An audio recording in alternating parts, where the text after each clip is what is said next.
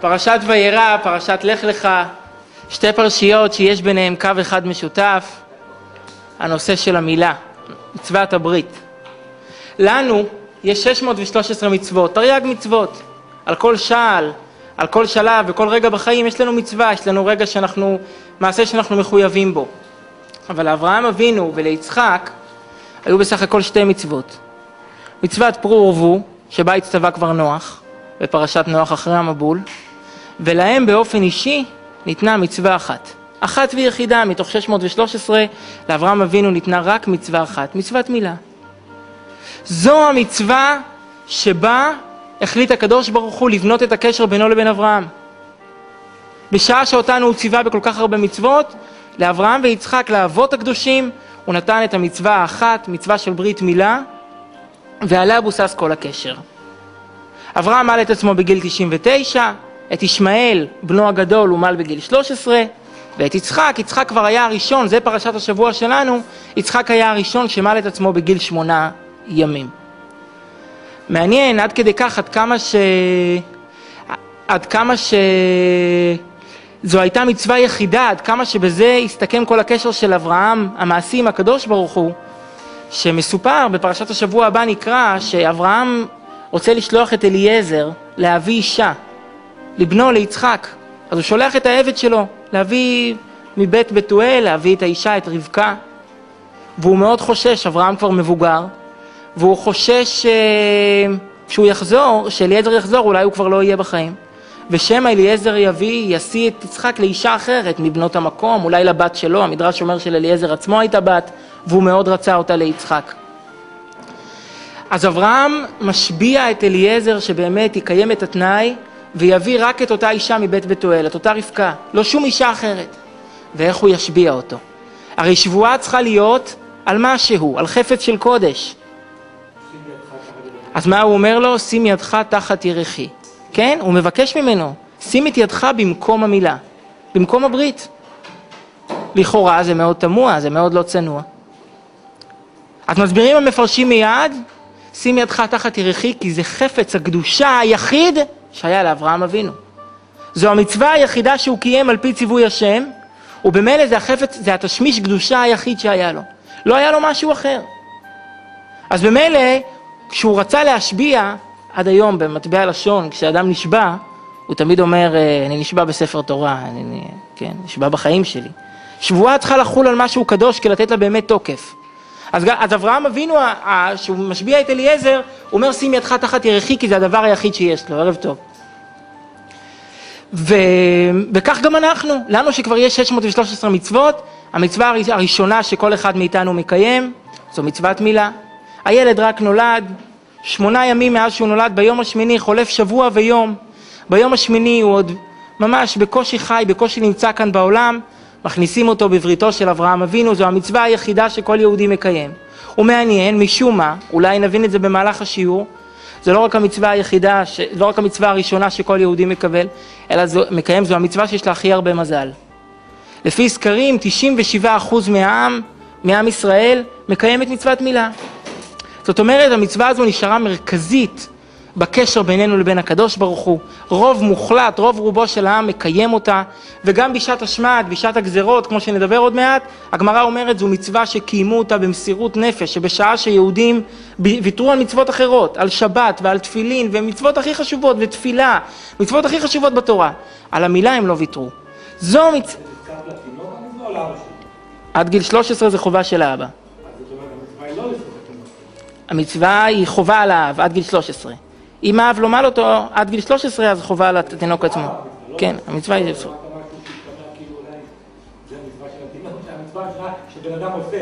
טוב, אוקיי, בסדר, מאה אחוז. אמ, אז אנחנו אומרים זו מצווה שאברהם, המצווה היחידה שאברהם קיים, וזו המצווה שהולכת עם כל אחד מאיתנו וכל אחד מקיים אותה. ועוד פרט אחד, כהקדמה לנושא, זו המצווה היחידה שאנחנו מקיימים אותה, שהיא נמצאת איתנו 24 שעות. כל המצוות תלויות במצב, אם זה חפץ שצריך להניח על הראש או על הגוף, אם זה תפילה שצריך להתפלל אותה בשעה מסוימת, אפילו לימוד תורה, כשאתה לומד אתה לומד, כשאתה לא חושב בדברי תורה, כשאתה נמצא באמבטיה, ואתה לא במקלחת, בבית המרחץ, בבריכה, בים, אתה לא חושב דברי תורה, אז אתה לכאורה ערום מן המצוות. המצווה היחידה שמלווה את האדם 24 שעות. הנקודה היחידה... מה? מצווה, מצווה זה דבר מעשי, ציווי. להיות יהודי זה דבר עצמי, אבל מצווה... גם נכון. אוקיי, אבל זה עניין של פעולה, אם במחשבה, אם במעשה. ומסופר על, אה, על דוד המלך, שפעם הוא היה בחדר, במקלחת, והוא פתאום חושב לעצמו, רגע, אני ערום מן המצוות, אין לי שום מצווה. ולדוד זה כאב במיוחד, כי דוד כל היום היה יושב עם טלית ותפילין. אז כל היום הוא היה מחובר לקדוש ברוך הוא באופן מעשי, לא פסיק פומי מגירסה, הוא כל הזמן למד. ופתאום בחדר האמבטיה, בחדר המקלחת, פתאום הוא מרגיש שהוא ערום מן המצוות, שכאילו הוא מנותק מהקדוש ברוך הוא, אין לו קשר. ופתאום הוא נזכר בברית המילה, במילה שיש לו. אז הוא אמר למנצח על השמינית מזמור לדוד. על השמינית, על המילה שנעשית ביום השמיני. למנצח הוא מודה לקדוש ברוך הוא מזמור לדוד על מצוות מילה שהיא מלווה אותנו 24 שעות, שהיא בעצם נקודת הקשר, מרכזיות הקשר בינינו לקדוש ברוך הוא בכל היום. אז עד כאן טוב ויפה, אנחנו מבינים שזו המצווה היחידה שניתנה לאברהם ויצחק, זו המצווה הראשונה שאנחנו מקיימים, רוב העם מקיים אותה והיא מלווה אותנו 24 שעות. זה יפה מאוד. אבל, וכאן מגיע האבל הגדול, כשאתה רגע חושב על המצווה הזאת, כן, מעבר לסמלים ולהתרגשות ולמסיבה, כשאתה רגע מעמיק דעת, ולא צריך להעמיק, אתה פשוט חושב. מתסרט אותה מול, מול העיניים שלך. אתה לא מוצא ידיים ורגליים, אתה מתבלבל, אתה מוצא את עצמך נבוך. מה, מה העניין של המצווה הזאת? מכל המצוות בתורה, דווקא המצווה הזאת הפכה להיות משהו שכולם מקיימים, שכולם מחוברים אליו, ש-24 שעות מלווה אותנו. לא יכולנו למצוא מצווה יותר אסתטית?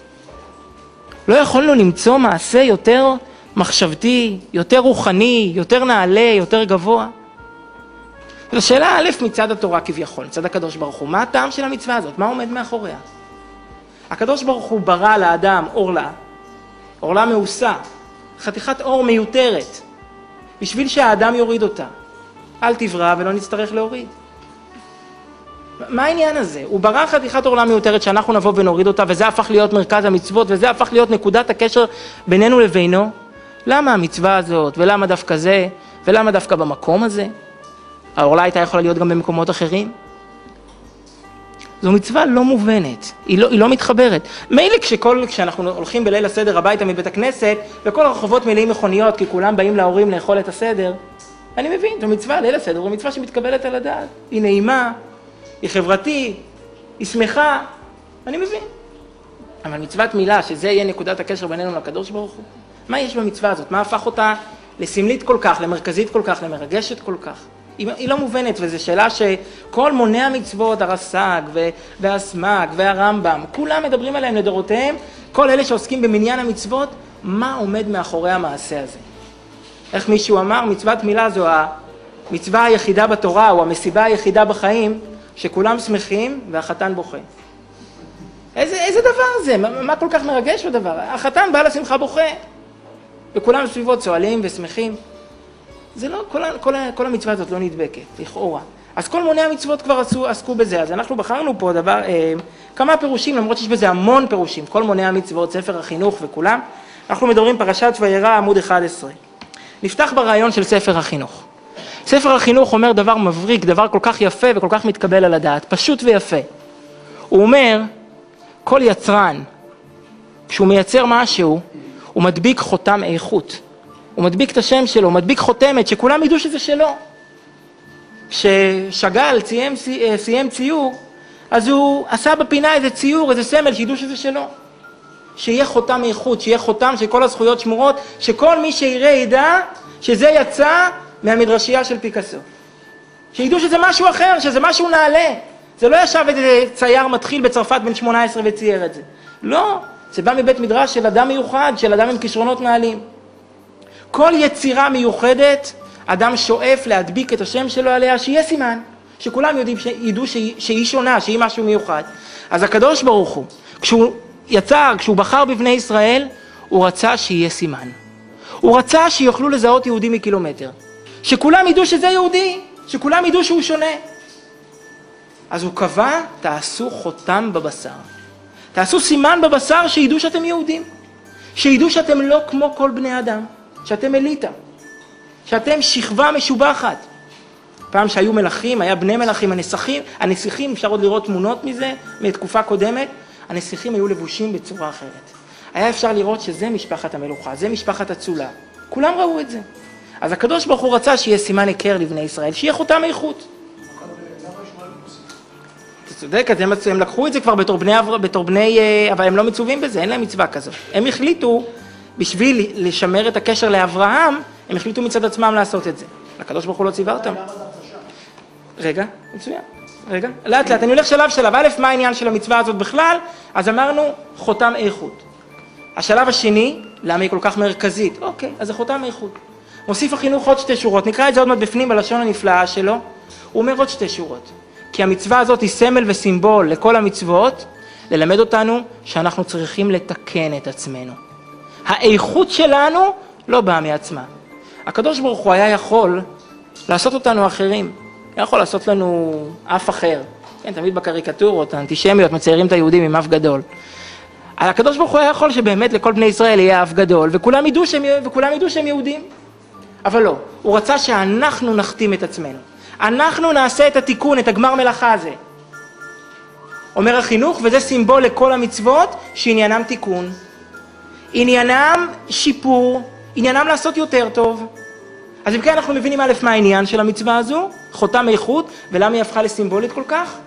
כי משל לכל המצוות, לתוכן של כל המצוות, לתקן, לשפר את עצמנו, את נפשנו, את דרכינו, היא בעצם אה, אה, אבן לכל המצוות כולם. נקרא את זה בפנים, במובאה שתיים. משורשי מצווה זו, זה ספר החינוך מצווה ב', לפי שרצה השם יתברך לקבוע בעם אשר הבדיל להיות נקרא על שמו. עם ישראל, שר כל, שרו של הקדוש ברוך הוא, אנחנו בנים של המלך. אז הוא רצה לקבוע אות קבוע בגופם, להבדילה משאר העמים בצורת גופם, שכולם יראו שאלה יהודים, שכולם יראו שאלה שייכים לזן אחר, כמו שהם מובדלים מהם בצורת נפשותם, אשר מוצאם ומובאם אינו שווה, כמו שהנפשות שונות, של יהודי יש נפש אלוקית ולאומות העולם אין נפש אלוקית, אז הוא רצה שההבדל הזה, האיכות הזו, תתבטא גם בגוף. והעם הנבחר חפץ השם יתברך להשלים תכונתו, ורצה להיות ההשלמה על ידי האדם, ולא בראו שלם מבטן, כן? הוא יכל הוא לעשות את החתימה הזאת. הוא יכל שכולם יראו שאלה יהודים, לעשות איזה מעשה מיוחד, לא.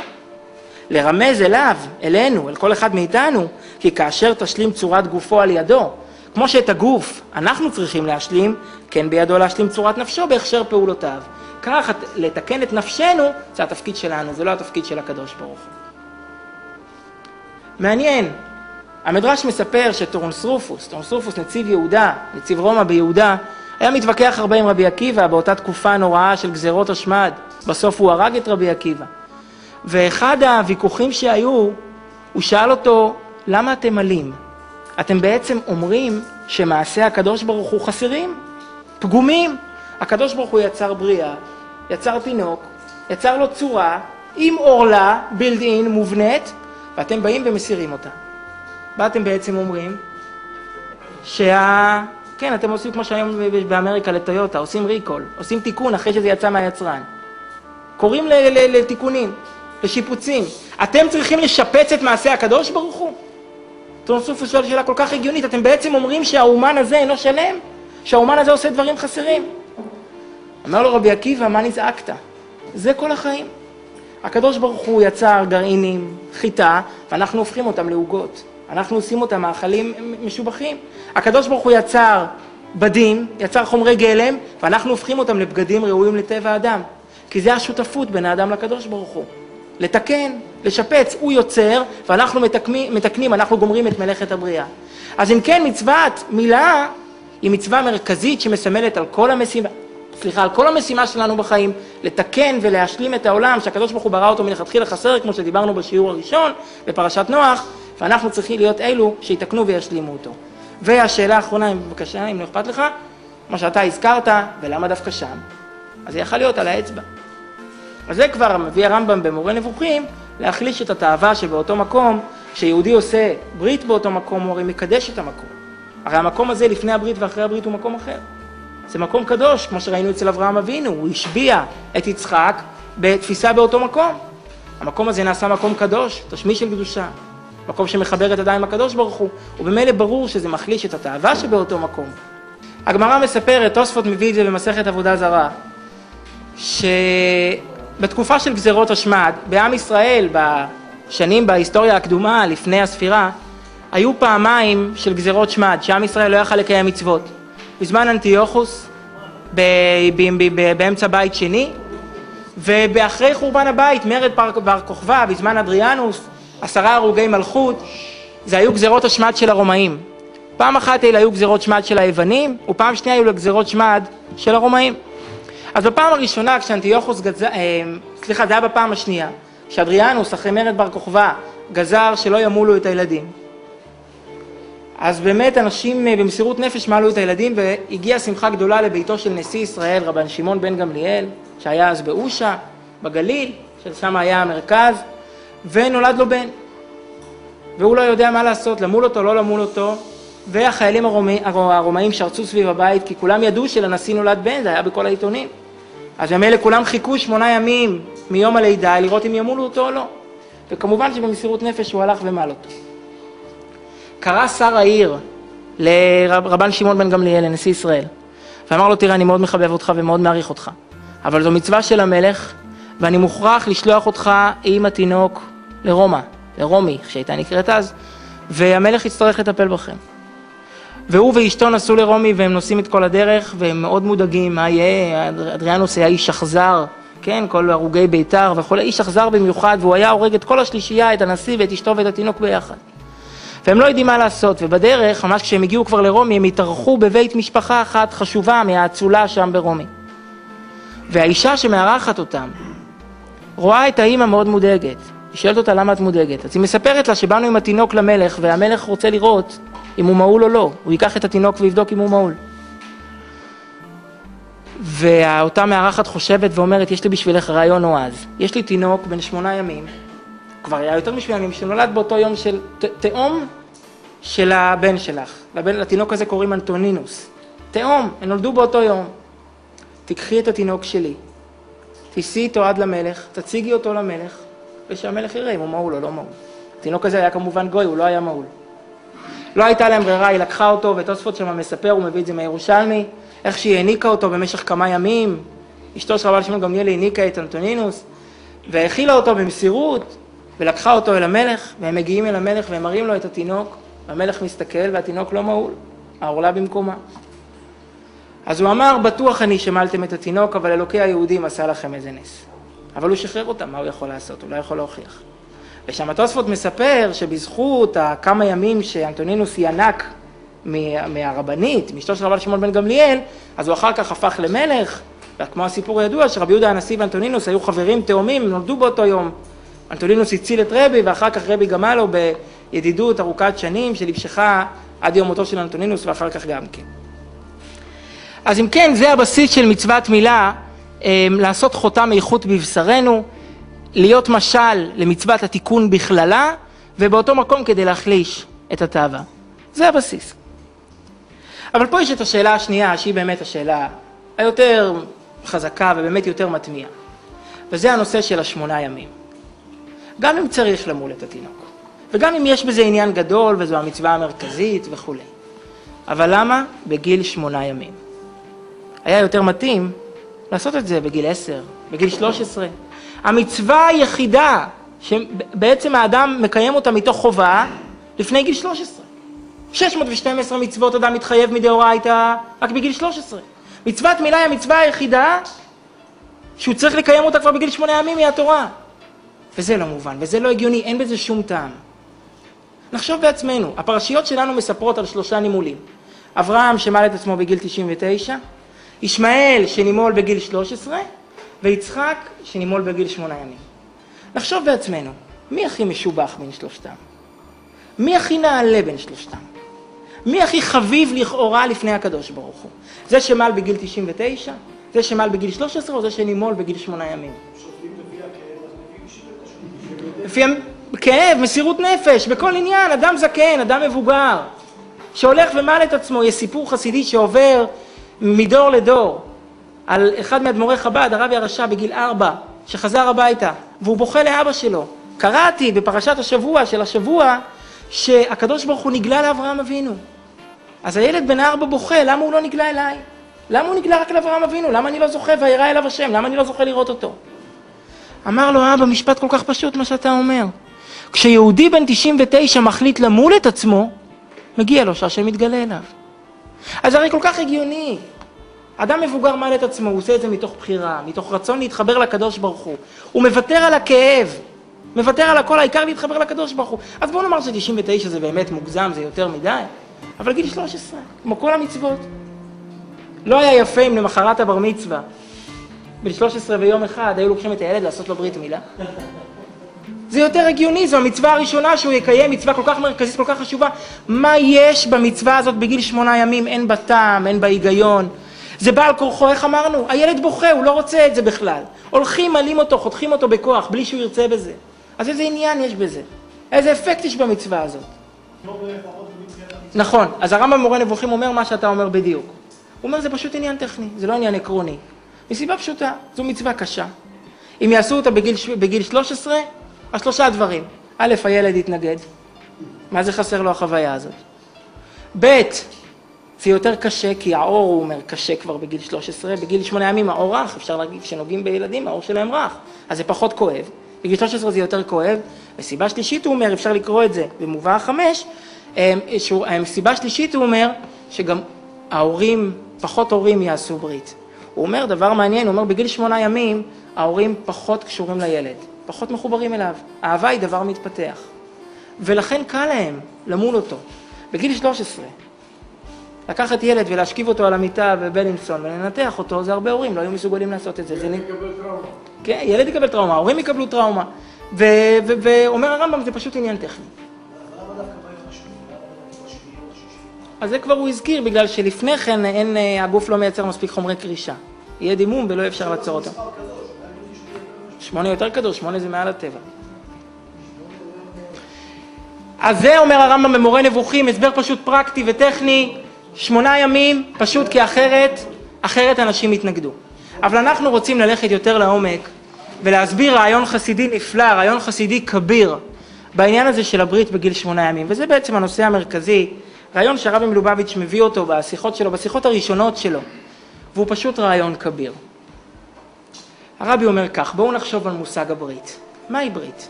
מה פירוש המושג ברית? מתי עושים ברית? יש שני אנשים, ידידים טובים, ראובן ושמעון, גדלו יחד, היו בבית ספר יחד, ואחר כך אפילו הפכו שותפים עסקיים, ובגיל 30 הם מרגישים מספיק קרובים אחד לשני, והם רוצים לחזק את הקשר. הם רוצים להנציח את הקשר ברמה כזו שהוא יישאר תמיד. הם פוחדים, מי יודע, אולי יום אחד נריב, יום אחד יהיה מתיחות, יום אחד לא יהיה מספיק סיבות הגיוניות להיות חברים. אז הם עושים ביניהם ברית, מין מעשה על-שכלי כדי להנציח את הקשר ולתת לו תוקף שהוא מעבר להיגיון. איך נותנים תוקף לידידות מעבר להיגיון? איך מנציחים ידידות? אז יש כמה דרכים. דרך הראשונה, כמו ברית בין הבתרים. זו דרך שהייתה מקובלת בעבר. אקט כזה של אה, טקס כזה שהיו לוקחים בעלי חיים, חוצים אותם לשניים, חותכים אותם לשניים, והאנשים עוברים בין שני החצאים. המעבר בין שני החצאים מסמל שלמות. לקחת שני חצאים וחיברת אותם. זו דרך אחת. יש דרך שהייתה מקובלת אפילו עד השנים האחרונות, אני חושב שברוסיה, בספרים שמספרים את זה, שידידים טובים היו לוקחים קצת דם מהאצבע, מערבבים ביניהם ברית דמים, זה הביטוי ברית דמים, מערבבים בין הדמים, וזה גם כן איזשהו אקט על שכלי כדי ליצור קשר שהוא מעבר לשכל. אבל יש דרך נוספת, והיא אולי הדרך האפקטיבית מכולם. לעשות ברית בגיל שמונה ימים, או בכל גיל שהילד הוא קטן מאוד.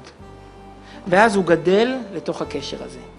אז הוא גדל לתוך העולם הזה, הוא כבר לא יודע משהו אחר. הקשר לאלוקים הופך להיות חלק מהחיים שלו, חלק מה-DNA, חלק מהדם שלו. רק שנייה, רק שנייה, אני רוצה להסביר טוב את הנקודה הזאת. נסביר את זה היטב. בואו נחשוב רגע. מה מלמדים ילד בגיל 13? בתיכון, ביסודי, בחטיבה, מה מלמדים אותו בגיל הזה, בגיל שהוא מתחיל להתבגר? ערכים, אידיאולוגיה, מקצועות. מה מלמדים ילד בגיל שנה? בגיל שנה אתה בונה את האישיות של הילד.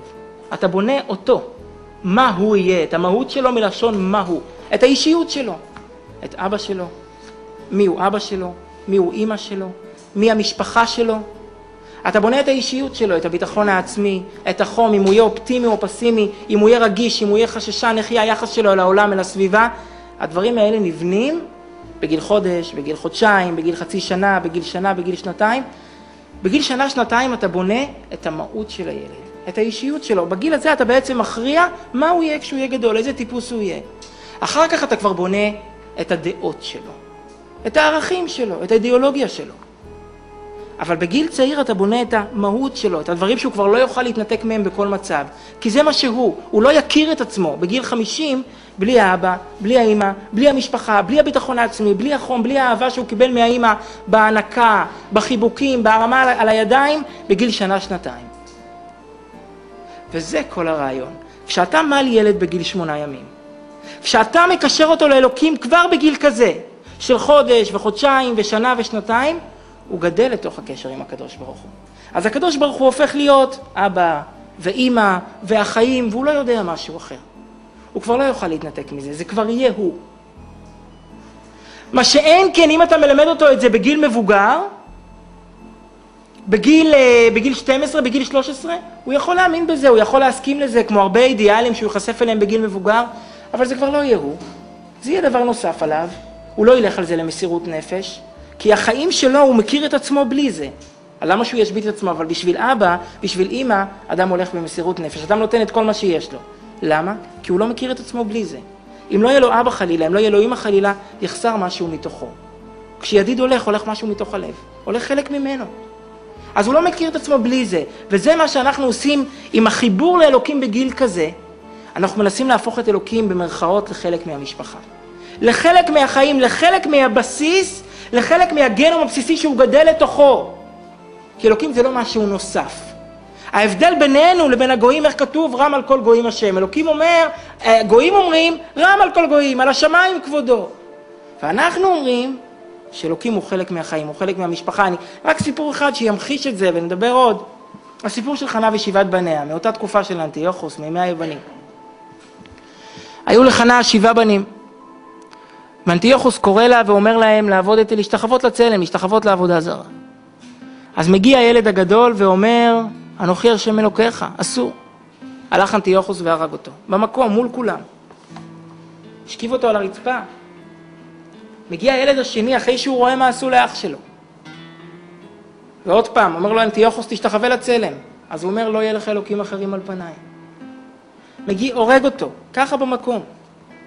מגיע הילד השלישי והרביעי והחמישי, שישה, שישה ילדים בזה אחר זה, כל אחד אומר איזה פסוק שקשור לעניין הזה, לא טוב דם, כל פסוקים שקשורים לעניין הזה, ואנטיוכוס הורג אותו.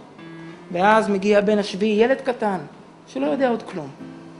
לא בגיל 13, בגיל 5, 6. אנטיוכוס אומר לו, כבר אנטיוכוס ריחם כבר. אומר לו, אל תשתחווה לצלם, אני אזרוק את הטבעת שלי, ת, ת, תרים לי אותה, ועל הטבעת יש גם צלם. אבל הוא כבר הולך לקראתו. אז הולך הילד וגם כן אומר איזה פסוק, ואנטיוכוס הורג אותו. שבעה ילדים. ואז חנה אומרת לילד הקטן, היא נשכבה עליהם ואומרת, לך לאברהם אבינו ותגיד לו שהוא עקד ילד אחד, אני עקדתי שבעה. עכשיו רגע נחשוב, איך צומח אתוס כזה? בואו ננסה להבין מבחינה פסיכולוגית. איך מכניסים לילד בגיל חמש מסירות נפש כזאת? קשר כזה לקדוש ברוך הוא. איך מכניסים את זה גם לילד בגיל 20? אבל כל שכן לילד בגיל 5. זה רק ממקום אחד. זה בגלל שאלוקים הוא אבא והוא אימא והוא צמח לתוך זה. זה לא איזה אידיאל שהתגלה בגיל 15. איזה אידיאל חדש שפתאום נודע. זה אני. יהודי לא מכיר את עצמו בלי הקדוש ברוך הוא. ובמילא זה חלק ממנו, כשזה חסר אז, אז, אז אי אפשר בלעדי זה. וזה בעצם כל אם אנחנו רגע אנחנו חושבים, אם ננסה להבין מבחינה פסיכולוגית, מה שאנחנו עברנו, מה שבני ישראל עברו בחמשת אלפים, בשלושת אלפים שנה של הקיום שלנו, הרי אין עם שעבר כל כך הרבה צרות, איך המשל אומר, כבשה בין שבעים זאבים. לכאורה, היינו צריכים לבעוט. אחרי השואה הנוראה, היה צריך להיות שכולנו נבעט חלילה בקדוש ברוך. איך אפשר להבין דבר כזה, איך אפשר להתחבר? ואנשים לא בועטים, אנשים נשארים מחוברים, אנשים מסתבכים, נאבקים עם עצמם, אבל בסך הכל נשארנו מחוברים. איך אפשר להבין דבר כזה? זה רק בגלל שהקשר של הקדוש ברוך הוא לא מבוסס על ידיעה, ולא מבוסס על חוכמה, ולא מבוסס על איזושהי הבנה עמוקה שהגענו אליה בגיל 13. כי נולדנו לתוך זה. כי אנחנו לא מכירים את עצמנו בלי זה. כמו שילד לא בועט באבא או באימא, גם אם עשו לו את הדבר הנורא ביותר, ככה יהודי לא בועט בקדוש ברוך הוא. ועוד סיפור ברוח הזו, שקראתי אותו ממש לפני חודשיים, ולא יודע, בעיני על כל פנים, לא יודע, זה אפילו קשה לספר אותו, זה אולי הסיפור הכי מדהים שקראתי בחיים, באמת זה סיפור נורא. היה בתקופה של השואה, במלחמה, היה יהודי שקראו לו האדמו"ר מבלוז'וב. יש עיר בגליציה בשם בלוז'וב. ויש כמה, הוא עבר את המחנות, הוא היה בברגן בלאז'ן, ויש כמה סיפורים ממנו, מהמחנה הזה. הוא עבר את השואה, אחר כך אני חושב שהוא נסע לאמריקה, הוא שרד את המלחמה. והוא סיפר כמה סיפורים, קראו לו רבי יהושע שפירא. יום אחד הוא עומד שם במחנה, הוא עבד בעבודות כפייה. והייתה שעת בוקר, וניגשת אליו אישה בהיסטריה, ואומרת לו, רבי, יש לך סכין? סכין. הוא הבין מה שכל אחד היה מבין, שהיא בטח רוצה להתאבד. בטח נפשה נקעה מהסבל שם, שכל מה שהולך בברגן בלאז'ן במחנה ההשמדה הזה, והיא רוצה, החליטה ליטול את נפשה. אז הוא אומר לה, בתי, החיים הם רכוש של הקדוש ברוך הוא, גם בגיהנום כזה, את לא יכולה להחליט מה יהיה עם החיים, והוא מנסה לדבר על ליבה, והיא צועקת, רבי סכין, רבי סכין, בעיניים היסטריות. והוא רואה שהוא לא מצליח לתקשר איתה, הוא פתאום מתקרב קצין נאצי. והקצין הזה, כנראה שהיה מהמשמר במחנה, אה, שומע את הדו-שיח ביניהם, וזה מאוד מצא חן בעיניו. אדרבה, שהיא תיקח סכין ותתאבד, זה דווקא, הוא אהב את זה. אז הוא אומר, חכי, אני אלך להביא לך סכין. הלך למטבח, הביא לה סכין. והוא מבין, נותן לה את הסכין ביד, והוא, ו... והיא מתחילה לצעוד לכיוון הצריפים, והוא והרבי הזה רצ... הולכים אחריו, ועל הרצפה מונחת חבילה, היא פותחת את החבילה, היה שם תינוק. היא פותחת את השמיכה ומעלה אותו. מעלה אותו במקום. מחזירה את הסכין לאותו קצין ואומרת לו, אני יודעת שאני והילד לא נחיה, אבל לפחות אני אחזיר אותו לקדוש ברוך הוא כיהודי שלם. זה הרי דבר שהוא לא, לא נתפס בכלל, הוא לא מתקבל על הדעת. במקום כזה, אם אדם שמתחבר לקדוש ברוך הוא בגיל 13, בגלל ידע, בגלל אידיאולוגיה, אז הרי במקום כזה אין ידע ואין אידיאולוגיה. יש רק כפירה ורק התרסה ורק כעס. להתמסר לקדוש ברוך הוא במקום כזה, בצורה כזו, זה רק בגלל שזה למעלה מההיגיון.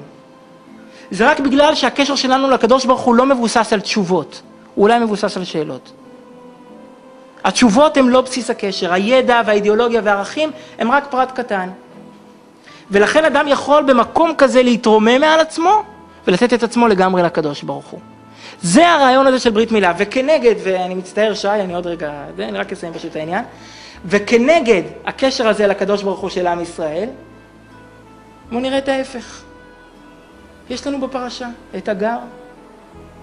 כן, היה לאברהם, אברהם ושרה היו נישואים הרבה שנים, ולא היו להם ילדים. אז uh, מה לעשות כשאין ילדים? אפילו בשולחן ערוך כתוב שאחרי עשר שנים מותר להתגרש.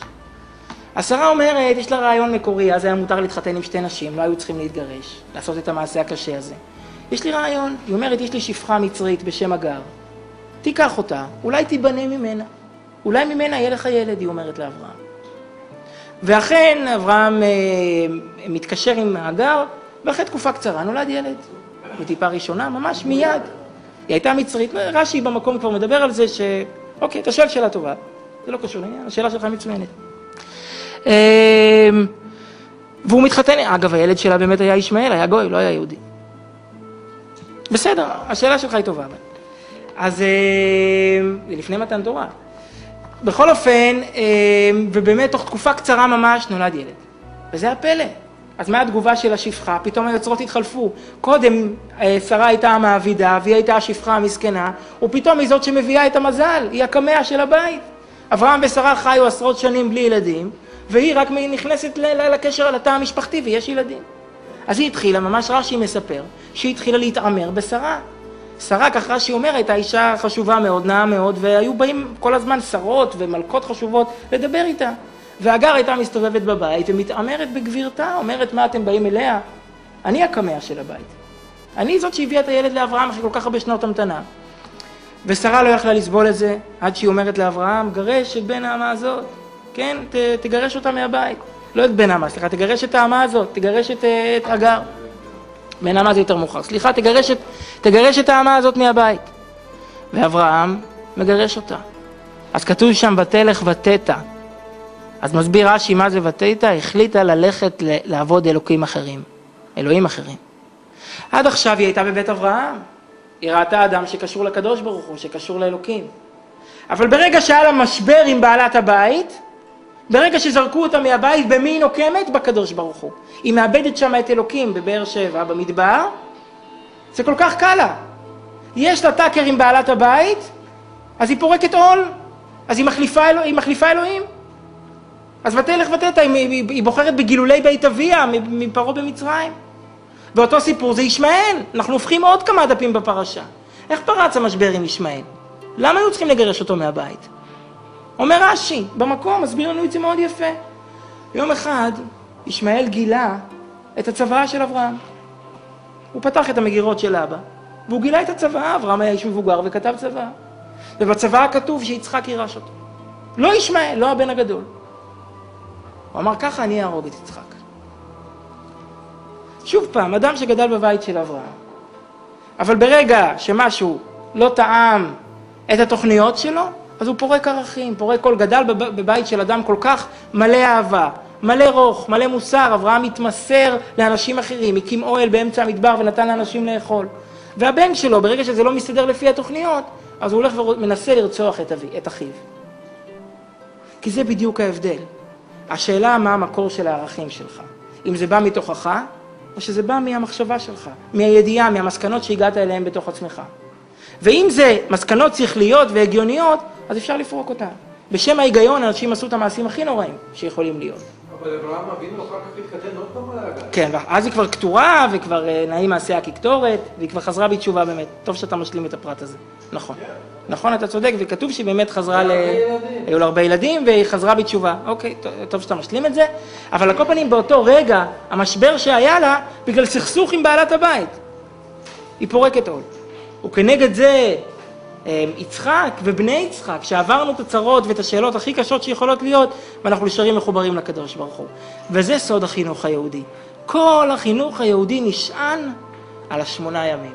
על הרעיון הזה שאלוקים הוא חלק מהאישיות, הוא חלק מהמהות, הוא חלק מה-DNA, הוא חלק מהחיים. זה לא איזה משהו נוסף שאנחנו נחשפים אליו, כמו שמתחילים ללמוד מתמטיקה.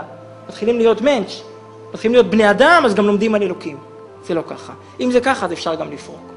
אז כשלא מסתדר, אז, אז אומרים, אומרים ביי, מסתדרים בלי זה. זאת אומרת, אם נסכם את מה שאמרנו, דיברנו בעצם בשתי רמות. א', על מצוות מילה בכלל, שעניינה תיקון, עניינה לעשות סמל של הבדל בינינו לבין הגויים, ומצוות מילה בגיל שמונה ימים, עניינה ליצור קשר על-שכלי. קשר, קשר שהוא מעל המודעות, קשר שהוא חלק מאיתנו, וזה רק כשאנחנו עושים את זה בגיל כל כך צעיר, לפני שהתחלנו לגדול. המעניין, הגמרא, זה בעצם המשנה במסכת אבות, לרבי יוחנן בן זכאי היו חמישה תלמידים מובחרים, בפרק ב' במסכת אבות, וכל אחד הוא שיבח אותו בדבר אחד. על uh, רבי יהושע בן חנניה, הוא אמר אשרי יולדתו. רבי יהושע בן חנניה היה אחד, בתוך התלמידים של רבי יוחנן בן זכאי גופה, שכולם היו גדולי עולם, הוא היה מהגדולים ביותר, הוא היה תל... רבי של רבי עקיבא, איש חשוב בכל קנה מידה. רבי יוחנן בן זכאי אומר עליו אשרי יולדתו. מסבירים המפרשים מה, מה הוא משבח את אימא שלו? מה הוא לא, רבי שובר חנניה בעצמו לא עשה כלום בחיים, הוא כבר לא ילד בן 12, הוא כבר אדם מבוגר, מה הוא... אומר רבי יוחנן בן זכאי, אתה את כל הצמיחה הרוחנית המדהימה שלך, חייב לאימא שלך. כי אימא שלו הייתה לוקחת אותו מיום לידתו בעריסה לבית המדרש, כדי שיגדל שם, שיצמח שם, שלא יכיר משהו אחר. שישמע כל הזמן את כל התורה. ולכן הוא גדל, אומר רבי יוחנן בן זכאי, לכן גדלת למה שאתה. כי התורה קדמה לך, היא רק קדמה אצלך לחוכמה. אתה לא יודע משהו אחר, אתה לא מכיר עולם אחר, אתה יודע שצריך ללמוד תורה. אז למדת בצורה כזאת ונדבקת באמת בקשר כזה לקדוש ברוך הוא. אחרי כל הרעיון הזה אנחנו מבינים אה, דבר והיפוכו שיש בנושא הזה של מצוות מילה. מצד אחד, משה רבינו, הזכרת את משה רבינו, אז אני דווקא אלך עם הקושייה שלך.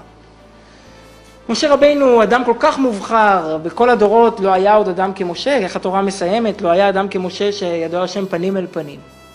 ובכל זאת, למשה רבינו בחיים היה רגע אחד של סכנה, של סכנת חיים. כשהוא חוזר עם אשתו ובניו למצרים, והוא לא מעל את גרשום, כי הוא היה בלחץ, רש"י אומר, את בנו הגדול הוא לא מעל, כי רש"י אומר שהוא חשב, אני צריך מיד לצאת, הקדוש ברוך הוא הרי ציווה אותי ללכת למצרים. אם אני אמול, אני צריך לחכות שלושה ימים. נו, אבל כי, כי אני לא יכול לטלטל ילד כל כך אה, מיד אחרי ברית, זה סכנה. אבל הקדוש ברוך הוא ציווה אותי למול מיד, אז הוא יצא ככה. וכשהם מגיעים שם לאיזה פונדק דרכים, למלון, כמו שהתורה מספרת, פתאום אה, ציפורה רואה נחש שמטפס על משה רבינו מלמעלה עד למטה ומאיים לבלוע אותו. אז משה רבינו הזה, שכבר הקדוש ברוך הוא בחר בו ללכת ולגאול את בני ישראל ממצרים, ומתווכח איתו, ומשכנע אותו ללכת, וזה לא היה קל, כמו שפרשת שמות מספרת, אבל אם הוא לא, לא מעל את הבן, הוא לא שווה כלום. הוא יכול להיות משה רבינו, שכמו שאמרנו שהוא האדם שנבחר לשחרר את בני ישראל ממצרים. אבל אם לא קיימת את מצוות מילה, אתה לא שווה שום דבר, אתה בסכנת חיים. למה? כי כמו שאמרנו, המילה זה הקשר, זה החיבור האמיתי לקדוש ברוך הוא, שהוא מעבר להכל. אז אתה יכול להיות באמת, להיות משה רבינו ולדעת אה, קבלה וחסידות ורעיונות עמוקים בתורה שאף אחד לא יודע. אבל אם אין לך את הבסיס, אם אין לך את המהות הפנימית של היהודי, את הקשר הפנימי, אז זה שום דבר לא שווה. ולאידך, מהצד השני, אנחנו יודעים שבכל ברית מגיע אליהו הנביא. כיסא של אליהו, יש כיבוד בברית, מכבדים את האנשים לשבת על הכיסא, להושיב את התינוק על הכיסא, ואנחנו מחכים לח... לאורח המרכזי לאליהו הנביא. למה הוא בא לכל ברית? מה הוא קשור לברית? אז מסופר, מסופר בנביא, שאליהו הרי ברח מאיזבל, מאחאב ואיזבל, ממלכי ישראל. היה לו את המלחמות עם נביאים כהני הבעל, הסיפור בהר הכרמל, מי להשם אליי, מי לבעל אליי, מי לבעל וכולי, מי להשם ומי לבעל, שהוא עשה שם את המשחק, והוא ניצח את נביאי הבעל, ואז הוא, הוא הרג 450 נביאי בעל, ואיזבל, מלכת ישראל, רדפה אחריו ורצה להרוג אותו. אז הוא התחבא בהר חורב, במערה בהר חורב. והקדוש ברוך הוא מתגלה אליו שם בהר חורב ושואל אותו... לא, הסיפור עם הבעל היה בכרמל, אבל הוא התחבא בהר חורב. הוא התחבא בהר חורב. והקדוש ברוך הוא שואל אותו, מה אתה עושה כאן? מתגלה אליו פתאום במערה ושואל אותו. אז אליהו ככה אה, מפטיר בכאב, בתסכול, כי בניך עזבו אותך. כן, עזבו בריתך, ובמילא אני צריך לברוח. אז הקדוש ברוך הוא אומר לו, אתה אומר שהם עזבו את בריתי, מהיום אתה תהיה נוכח בכל ברית מילה, כדי לראות כמה הם מחוברים אליי. זאת אומרת שזה המעשה, זה הרגע שבו אנחנו מבטאים את הקשר לקדוש ברוך הוא יותר מכל דבר אחר. כי אחר כך בגיל 13, תמיד נוכל לומר, תראה, הדת היא יפה, היא מעניינת, היא שכלית, בלעדיה החיים ריקים. אבל הברית בגיל שמונה ימים זה המעשה היחיד שאנחנו אומרים, אנחנו שלך. אנחנו דבר אחד איתך. אנחנו בן ואבא, אין בינינו שום הפרדה. ולכן היא כל כך חביבה בעיני הקדוש ברוך הוא, והיא הפכה לברית, היא הפכה באמת לדבר שמחבר ומאחד אותנו יותר מכל דבר אחר.